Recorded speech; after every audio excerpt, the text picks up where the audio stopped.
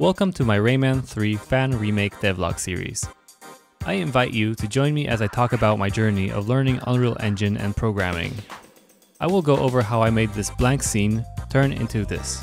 Come on, I'm kidding. Hey, I like that outfit on you. When does it come off?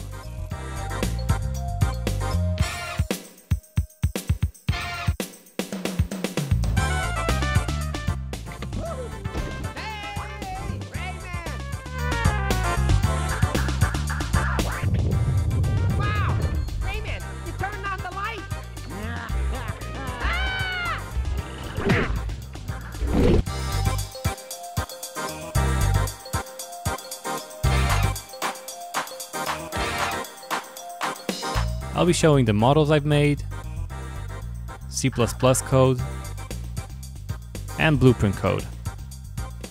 Alright, let's dive in. Episode 8, Player Combat Part 2. Come on, I'll show you something. So the logic is ready, now we can put in some visual flair. Let's start with the Charging Fist particle effect. So this is the Charging Fist effect. I make it start from this kind of purple color because I figured Rayman's purple. so, and then it goes into orange and starts to glow white while it's fully charged. Also, as it's fully charged, we have these little sparks going inside. And we have the fist rotating at all times. So the fist is a single particle that gets spawned and it has this rotate around point node here to rotate in a circle. Now for the trail, it uses the same trail material as the Crab Ninja, except instead of being mapped to a plane, it's mapped to a cylinder. Here in the ribbon shape, I have a tube. Now the, the ribbon particles for the trail get spawned from the fist location, so it indeed follows the fist. I have a scale ribbon width that scales with the emitter's age, so the tube is larger the more the fist is charged. And also have a second scale ribbon width to kind of enlarge the end of the trail. This kind of makes more of a vortex effect as without this it's just something like this. And the color nose changes the color from this purple to glowing orange. And I also use the dynamic material parameter to make it glow stronger. Just like we saw when we were going over the material for the crab enemy. Now the long sparks are a little too simple to go over I think, but really quickly they use the basic particle material. They get spawned on a sphere and I use a point attraction force to make them travel to the center of the particle effect. I guess one thing I do with the sparks that I haven't done before is I elongate them as they speed up and I use this by scaling the sprite size by speed. So the faster they go, the more scaled up they are in the y-axis. To make this work properly, in the sprite renderer, you need to make the alignment velocity aligned. As for the projectile effect itself, this is what I got. This is what we would see if the if Rayman shot the fully charged fist. So kind of like two trails, one that's longer but thinner, and then there's another one that's larger. And there are also these embers that get left behind. I hope you can see them in the video. Now this particle effect has a user variable that I defined that takes in the fist's damage. So that was what the particle would look like if the fist damage was equal to 3. But if, for example, we don't charge the fist at all, then the effect is much smaller. Then if I change it to, for example, 2, so it's like halfway, then it grows to match whatever the particle looked like when Rayman was charging his fist. So I don't think there's much point in going over the effect itself. It's the same trail material I've been using before, just layered a couple times on top to give it some more punch. And then the embers are just these tiny spots that get spawned and use a curl noise to move around. The only thing that's different is this user parameter I was talking about. It's called color scale. And here in the color of these trail nodes, I have these curves that are driven by the color scale. So if the color scale is 1, then we have the whatever color is in this spot over here. If color scale is 3, then we have whatever the color is over here in this spot. And in order to set that color scale value in Blueprint, what you need to do is there's this set Niagara by variable node. I was using a float So here you just type in the na name of the variable. In my case, it's user color scale. So user dot color scale. And then here you can plug in the value. Okay, so let's check this out. If I just press the button, we have a nice purple trail. And as I start charging, the trail matches whatever the color was when Rayman stop, stopped charging. We can go to max. There it is. I don't know if you noticed, I also added a camera shake for when Rayman uses max power. Adding a camera shake is super simple. You just put in a new blueprint class, search in camera shake. And here, once you select your shake pattern, you get all these settings like location shake, rotation, FOV, timing. And then to add it to blueprints, you just use play world camera shake. Select your camera shake you created, and that's pretty much it.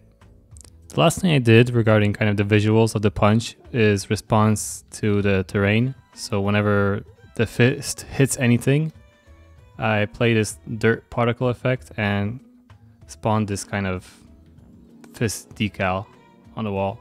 For the particle effect that spawns whenever the fist hits a wall, I reused the smoke and dirt particle systems from the Crab Ninja.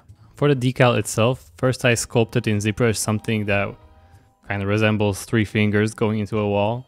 Then I took the sculpt into Substance Painter to bake it on a flat plane and paint in the opacity. And then I made a decal material in Unreal Engine. I used a normal map of the fist. For the color, I just figured something white to match his fist's color is enough.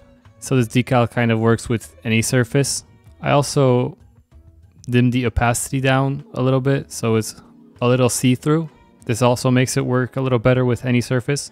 And then I plugged in this decal lifetime opacity. This allows us to change the decal's opacity in Blueprint over its lifetime so it smoothly fades out instead of just disappearing. Now to set up the particle and the decal, I have this event, hit something event that fires whenever the fist collides with anything. So first I spawn that particle system at the fist's location.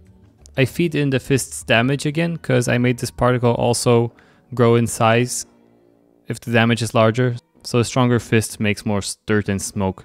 And then for the decal, there's this spawn decal at location node where I choose my fist decal. I set the decal size to something that works.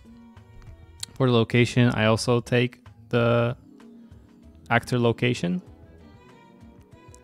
And for the rotation, I get the impact normal of the fist and flip it because otherwise the decal turns out to be inside out. And then I make a rotation from this vector to plug it into the spawn decal location. Then there's this set fade out node that makes the decal fade out smoothly. So after 20 seconds, it fades out for 10 seconds and when it fades out, the decal gets destroyed. Okay, now I want to go over making this target arrow. First let's go over the widget blueprint. So we'll make the UI element and then we'll go over connecting it to the enemy crab, for example. So here in the designer, we got this arrow with the crosshair. I've taken the textures from the original game, just upscaled them a little bit. I added this pulsating animation because that was something that was there in the original game. Now let's go over the event graph. So there are kind of two things that I need to happen here. One is to rotate the arrow to be always pointing from Rayman to the target. And the other thing is to change the arrow to indicate to the player that he's gonna curve his fist if he shoots it now. And one other thing I have to deal with is I don't really like how the crosshair kind of seems to be shrinking down as I get closer to the enemy. This is something that Unreal does if I set the blueprint widget to screen. So I want to compensate for that and make it scale and make the UI element scale up depending on how close I am to the target.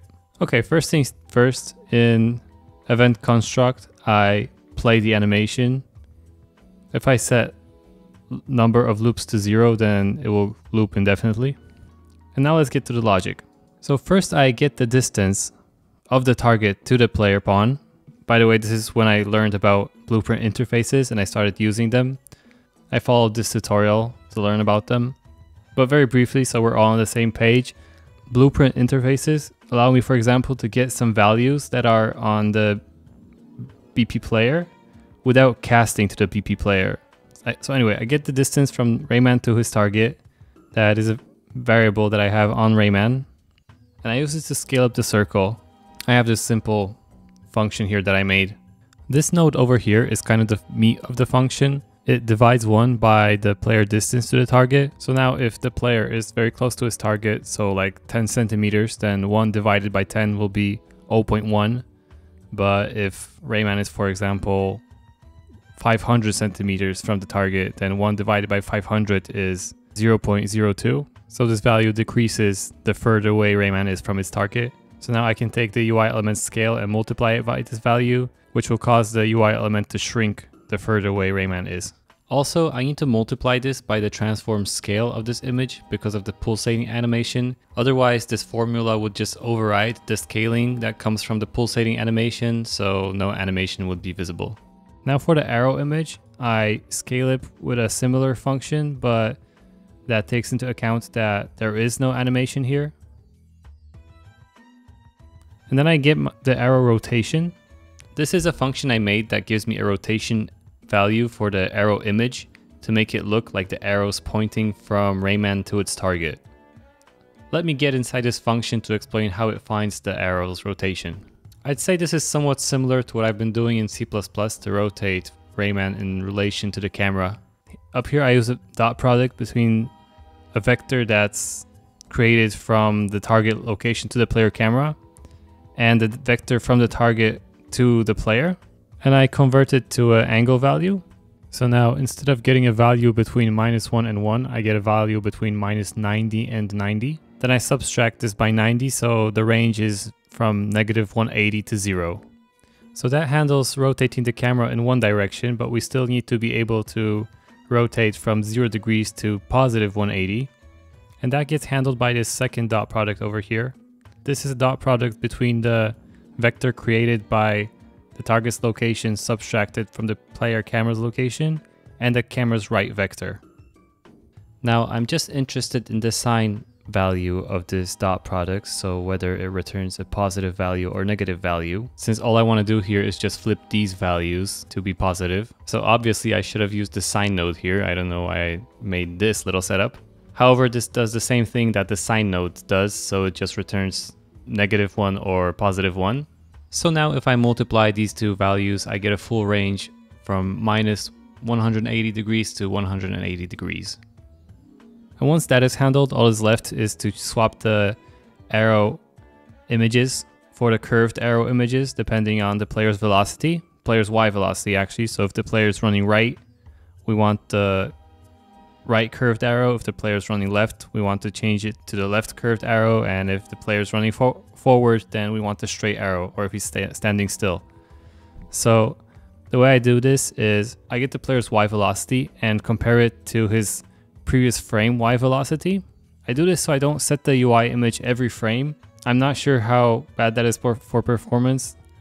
So this is kind of a check to see if we need to swap the image or not.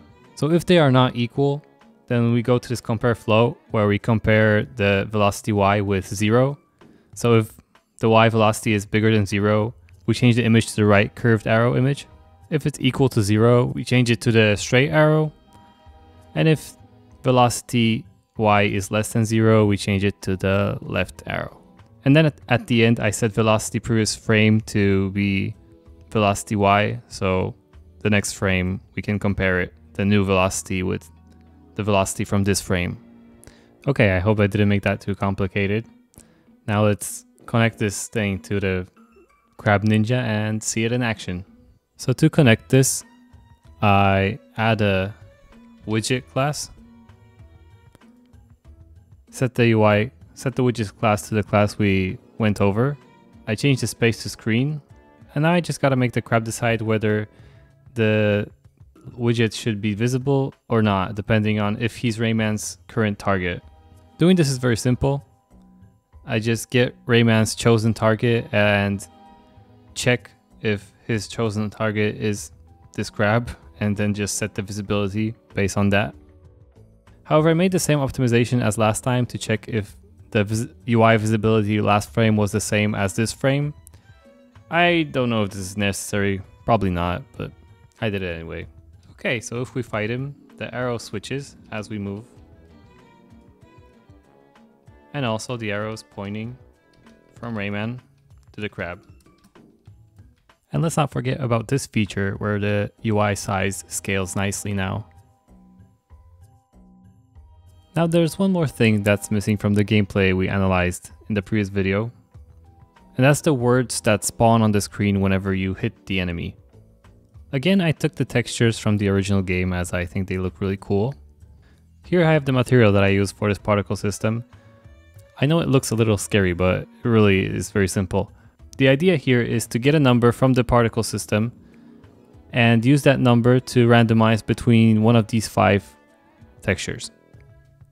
So I have these if statements that compare the number I get from the particle system to this second number.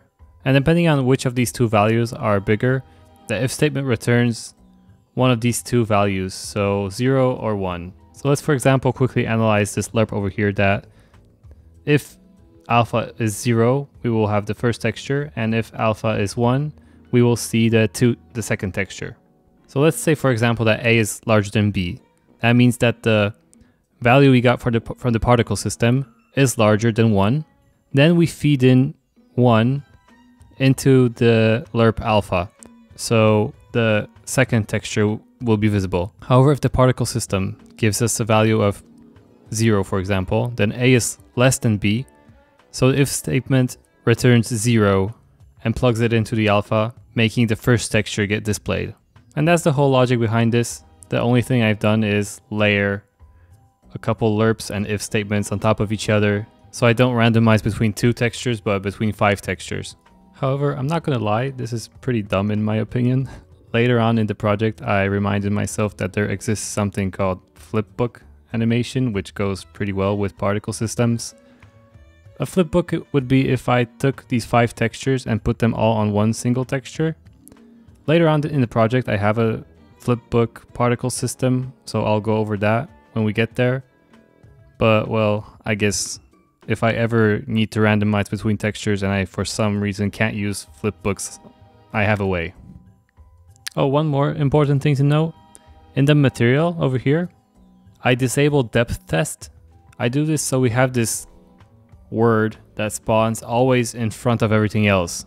It makes it work more like some kind of comic book overlay than if it was actually in the scene. Okay, so for the particle effect, the particle gets spawned somewhere on a sphere. This dynamic material par parameter returns a random range float to randomize between, between different words. I have one scale sprite size over here that kind of makes the particle pop in and a scale color to make it kind of fade out over lifetime. Now, I have this user variable called damage taken that is used to drive the particle scale again. I do this because I wanted this particle to be larger if the enemy takes a bigger hit. So if we change the damage to 3, as you can see it's pretty big. And then we go back to 1, it's a smaller. Alright, Crab Guy doesn't stand any chances. Yes, I have been adding sounds in the meantime. I don't think I'm gonna make any videos on that however because there's just nothing interesting to be said about adding sounds. The whole process boils down to me spending an hour combing through the Rayman sound files to find the one that I need and then just spawning it whenever something happens. So for example here when the enemy gets hit you just spawn the sound at the enemy location. Okay, thank you very much for watching. In the next one I'm gonna go back to 3D and talk about how I made the kind of starting area of the game, the one with the garden gnomes. Leave a like and subscribe if you had a good time, and I wish you a wonderful day.